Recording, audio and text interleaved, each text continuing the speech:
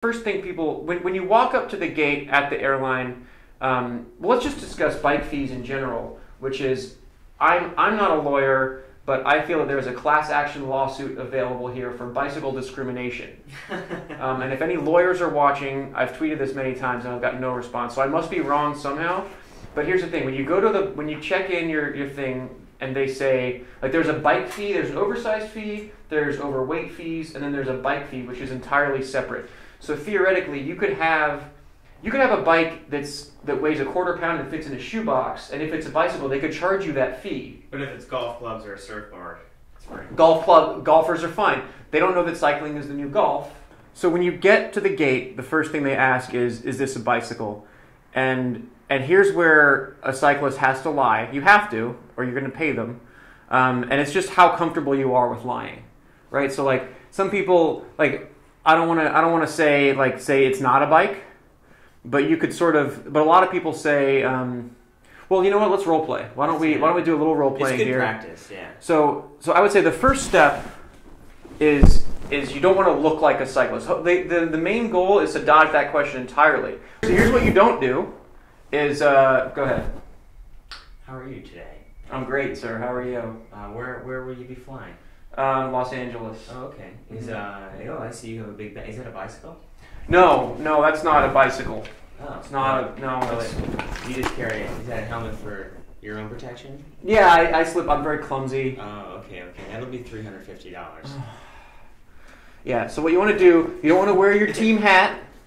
You gotta conceal at least. Like a lot of times, this is how you travel with the helmet strapped to your bag. Don't do um, but either like I, I hide it under the thing sometimes, just like be just to cover it. Um, wear a shirt that has a cookie fondo on. Nobody knows what a cookie fondo is, but don't have a shirt that has a bunch of logos and a bicycle event on it. But so you don't do that. So you put on. You have a have a discreet have a discreet cap. Don't have your helmet visible. Um, no one suspects a retired cat to be to be an issue. Um, so, so think about that. Have, have a game plan while you're in line. You got all that time in line. Uh, figure it out. And now the next step. So once you're comfortable with lying, um, so so let's let's role play again. Um, you know, ask me if it's a bicycle. Okay. Yeah. So, uh, I see you have a, a, large bag over there. Is that a bicycle? No, that's a massage table. Oh, okay. Cool. Mm-hmm. You're a masseuse. Yeah, yeah, yeah. Great, man. Um, okay. These ten hour these ten hour days are. It's tough it's it's a lot. It's a uh, it's a lot of work, but it's very rewarding if you can feel better. Oh, okay. Well, I hope you have a great mm-hmm. flight. Yeah, thank you. See. Now let's try another one. Bless your heart. uh, do it. Do it. Okay, ask me again. Here's here's another option for you, and this is just what you're into and what you can BS better. Yeah. Uh, I I'm proud. Of, I'm proud of this one. I've, I've used this before. Is that a bicycle?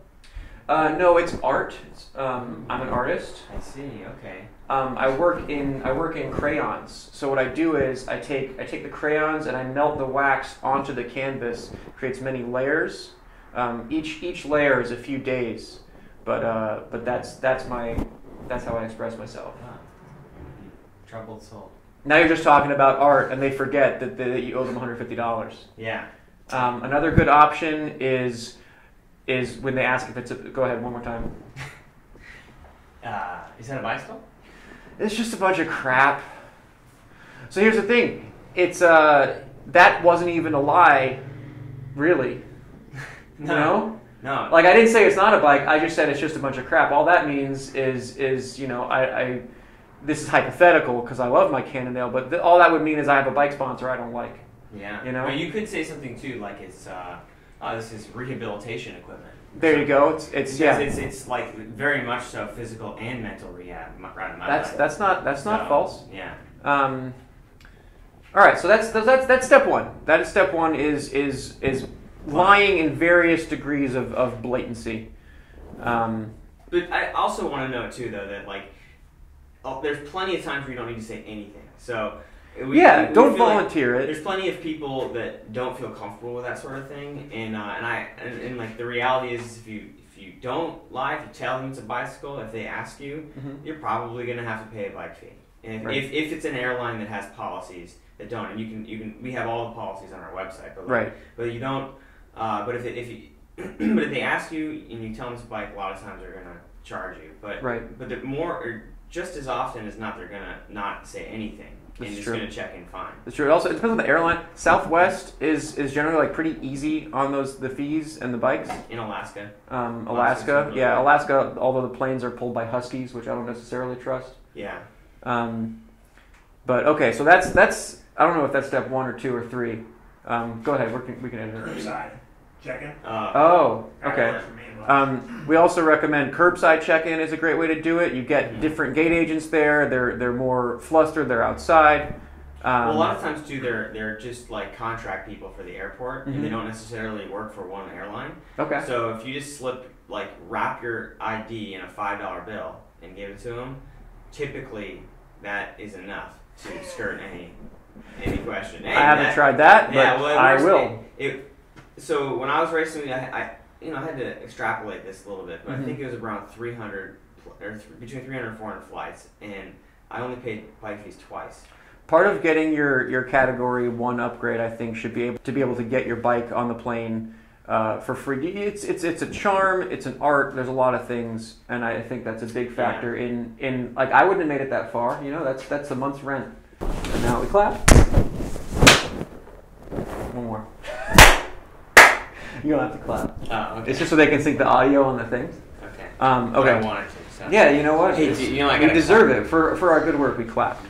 Um, all right. So the so the the main reason that we brought Isaac here is that Isaac is the is the designer and founder, co-founder, something of Yeah. Orucase, which is which is my bike bag sponsor, um, and and a bag that, that we wanted to discuss, and it's specifically designed to avoid airline fees and improve uh, cyclist travel convenience. Yeah, yeah. I mean, it's there's a lot of things beyond simply just saving money on bike fees. I mean, we we we sell products to a lot of people that live in like studio apartments and stuff, and so.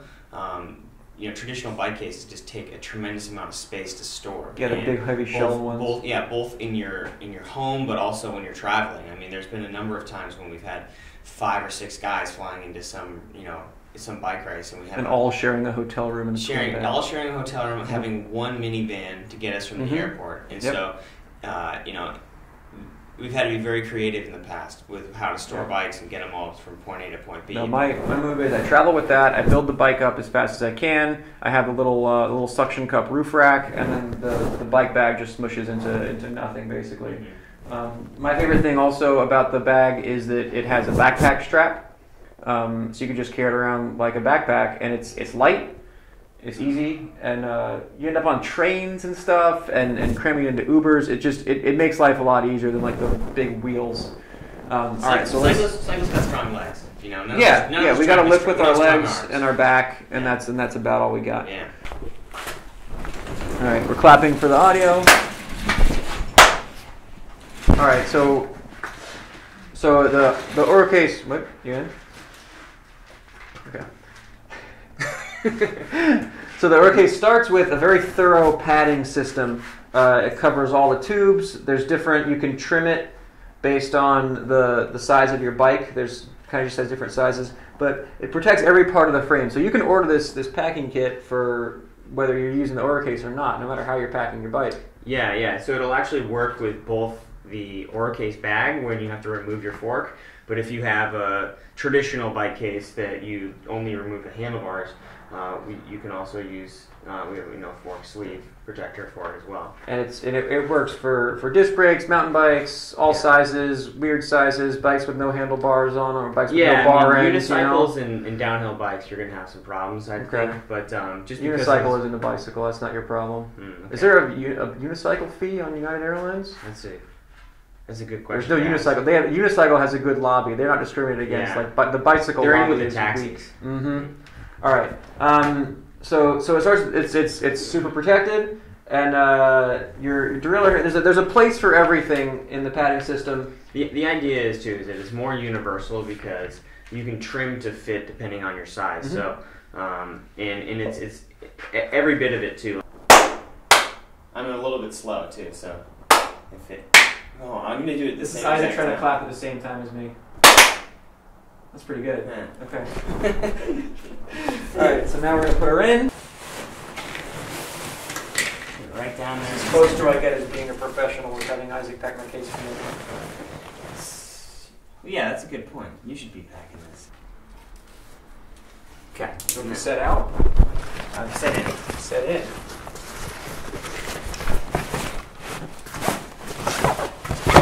Okay, and there's these special little pockets on the sides of the case. Uh, there's a pocket for the seat. Put it on there. Okay. So we got wheels, frame, handlebars, fork, seat. Close her up.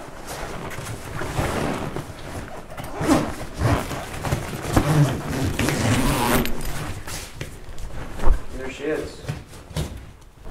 Um, here we go.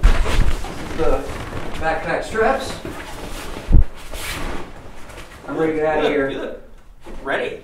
It, it matches my clothes. Um, but here's me. I'm ready to go to the airport in my with my massage table uh, slash just a bunch of crap slash art supplies. Rehab equipment. My everything but a bicycle right here. All right, that's it. Thank you, Isaac. Thank you. Thank you, Orucase. Um, yeah, that's it. You do other stuff too. You don't need to grab at the end. No, no, no, okay. That's a wrap.